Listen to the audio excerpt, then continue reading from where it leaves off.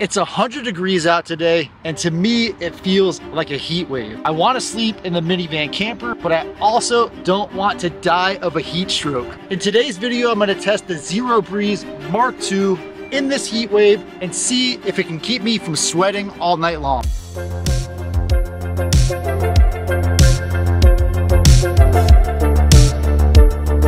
I selected a campsite that has shore power so that I can try to run this Zero Breeze air conditioner. In preparation for today's video, I packed the air conditioner in my blue crate. So I've got to move my fridge out of the way and I'm gonna get it set up.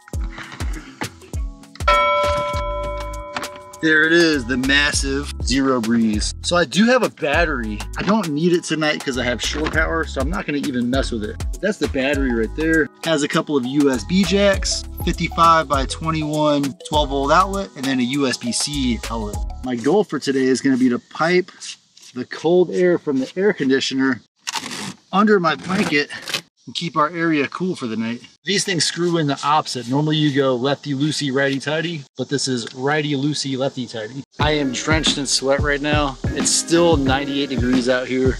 I've got this thing started and what I want to do now is get the blanket set over the pipe so I can see if I can cool off the bed and see if that'll help cool me off. For now, I have the hot air outlet going out the driver's side window, and then I have the cold air intake coming in the passenger side window. I haven't had the system long enough to make permanent window covers, but my plan for the future is to use a standard kind of Reflectix material with two little holes piped out of it use those two holes to put the inlet and outlet going out of them.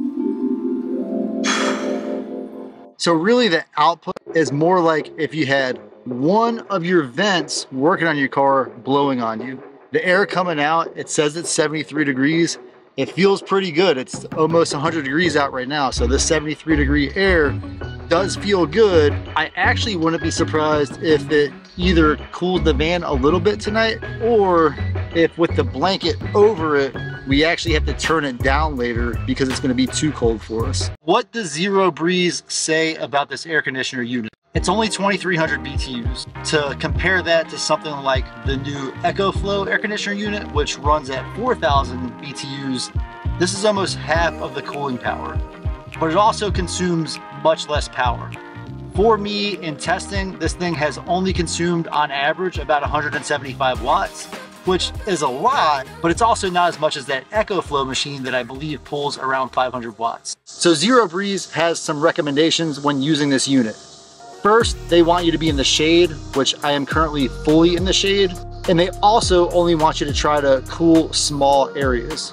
So the area of my minivan is not very big. I do have those two front windows open. I'm gonna put up all my window shades. I'm gonna get this bed made so that I give the Zero Breeze every opportunity that it can to cool the minivan. In fact, while I'm doing that, I'm gonna have this thing blowing on me the whole time.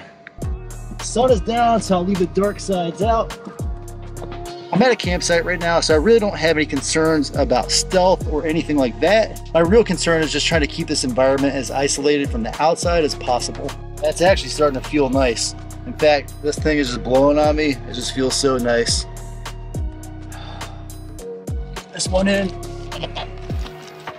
Normally in this kind of weather, I would keep my side windows cracked a little bit and run a fan on me. But because I'm trying to keep as much of this cold air as possible in here, I'm gonna leave these two side windows up and leave these two back windows closed because they do crack as well.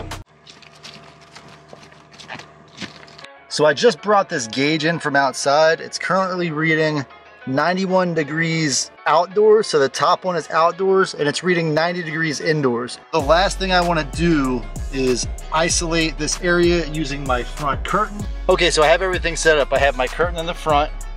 I've got all my shades up on the sides and I'm just gonna hang out and give this thing as much time as it needs and see if it changes temperatures at all. This is the other part of that sensor. I just have it out here not in the sun, and I wanted to put it under the vehicle, but since I'm already in the shade, I think it's probably safest if I leave it on the table. I forgot that I left these inside this little pocket right here, so I'm gonna go put those on just to keep all the bugs from coming inside of the vehicle tonight. I've got one bug screen up, now it's time to get the other one.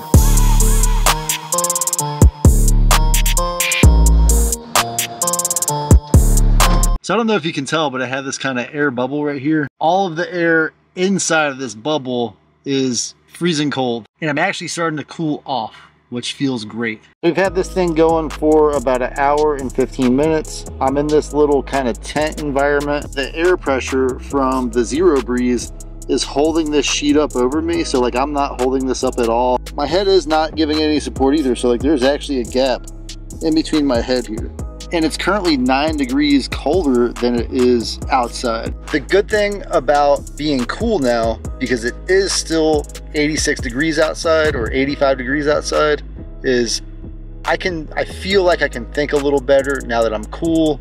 I'm not sweating, I'm not drenched in sweat. If you're gonna use something like this to cool your living environment, I would try to get to a place, for example, like right now where I have shore power, and let this thing run. I don't know that the one battery is big enough to run this for more than four or five hours. Four or five hours is definitely enough time to cool you down, but I'm just not sure that that's enough battery power to keep you cool throughout the night. It's about 10 o'clock at night and we're gonna try to get some sleep and hopefully we don't sweat too bad throughout the night, but I have this sheet with the cool air going into it. I'm not sweaty, I don't feel too hot, outside, like here where my hands are, it does feel warm because I have all the cold air going under the blanket here. And the cold air under the blanket actually feels pretty good.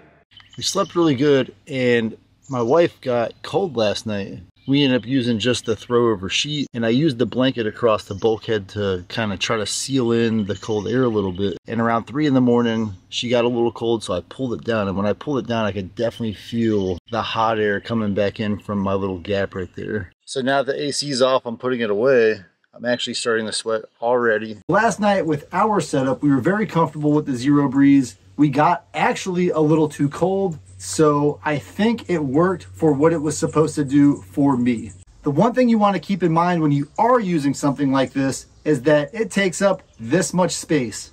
This part fits perfectly on the center console of my Toyota Sienna.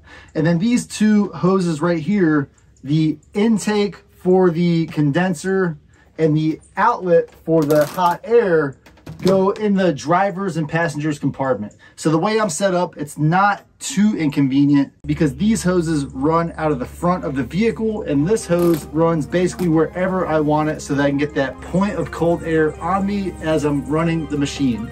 If you like my content, check out this video and I'll see you on my next adventure.